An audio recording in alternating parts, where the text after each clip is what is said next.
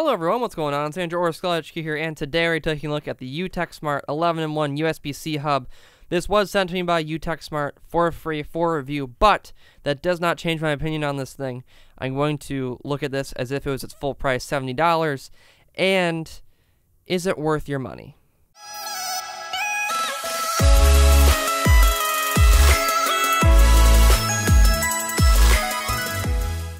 So like I said, this is the UtechSmart 11-in-1 multi-port USB-C hub adapter.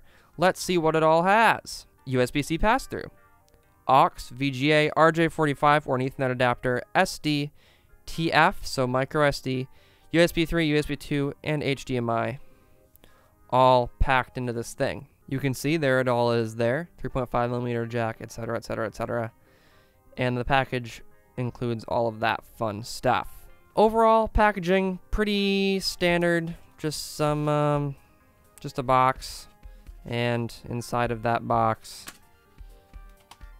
some very boring, very boring packaging. Though it does come with a nice little bag. Um, I don't know that it's super protective, but if you want a bag, that is there. And then the user manual. So taking a look at the USB-C hub itself, I do have some very positive things to say about it. One, it is very well built. It is machined aluminum. It is uh, anodized, I believe, to be a little dark.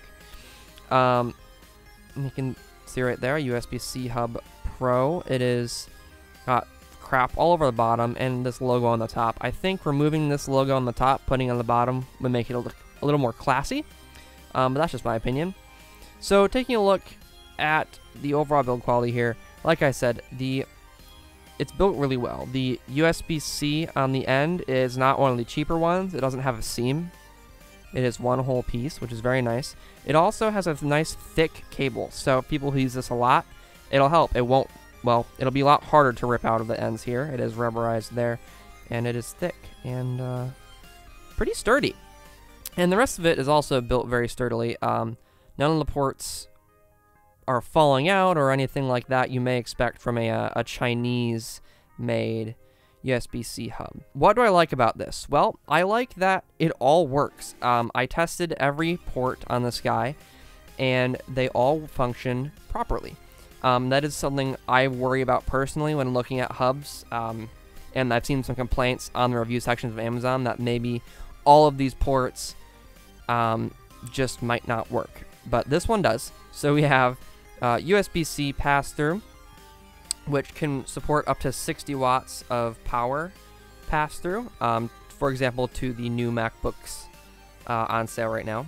Uh, here we have the HDMI port, which supports 4K uh, 30. So not 4K 60, unfortunately, but 4K 30 FPS.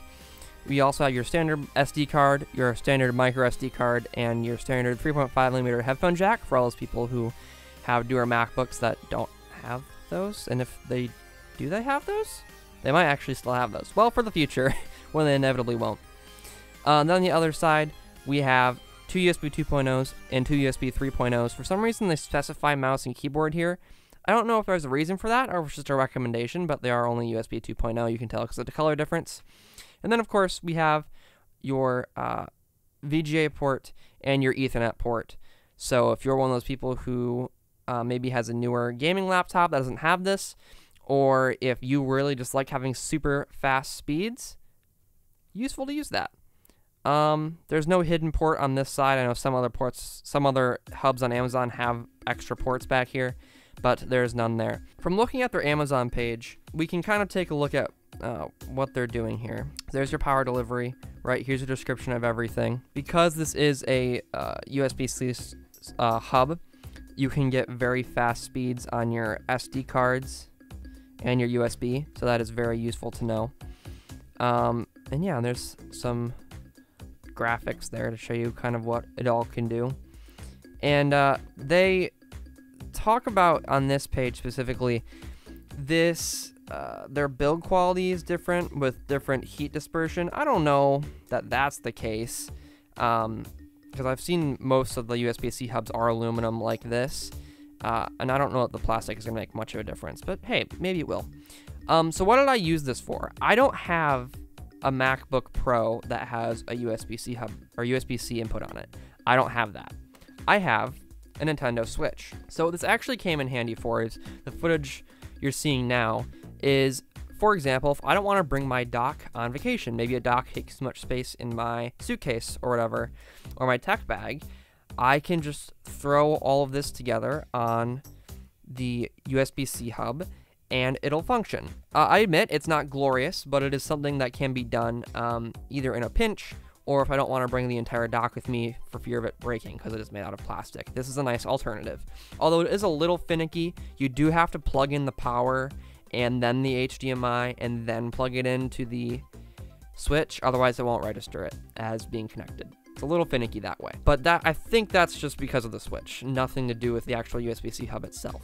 I like to use this for something that personally is going to affect me. So for my Nintendo Switch, I don't have a lot of money to spend on extra controllers, especially wireless ones. So I just buy these cheaper ones, right? I have two of them. Um, so I really, I have four controllers if I split my Joy-Cons up, right? But let's say I want to have four whole controllers that are full size. Um, buying another USB or USB controller would actually work now because there are only two ports on the Switch. But if I use this, all of these ports work. So I could actually end up having up to five or four wired controllers, and then however many wireless controllers hooked up to my Switch at one time because of this USB-C hub, because all of these do function with it. I tested it at once.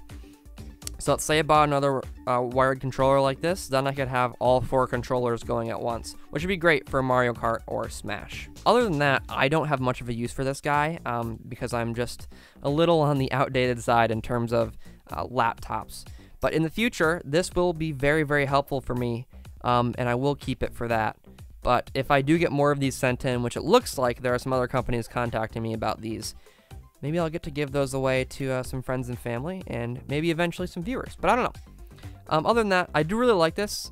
I don't know that I can recommend it for the $70 price tag. In relation to the other USB-C hubs on Amazon, this is one of the more expensive ones. What you're really, really paying for is the VGA uh, and the Ethernet. So this is definitely more of an office setting uh, device, I would say. Uh, other than that, I would say go with the cheaper options. But if you're really dying for the Ethernet and the VGA, I mean, you don't have much of a choice, do you? Okay, well, that's to be it. Thank you for watching this video. Like the if you liked it. Favorite the video if it was a favorite. Don't forget to check out the description where this will be uh, linked on Amazon. And of course, I will see you all later. Take care.